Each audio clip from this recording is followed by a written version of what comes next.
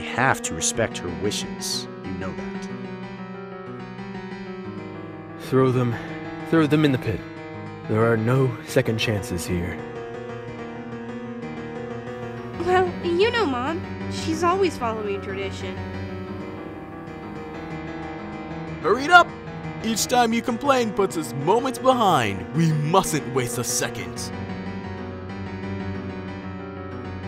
Hey, long time no see. Go on, admit it. You missed me. Uh, I don't think that's a good idea. My mom always told me never to cross roads. They're dangerous.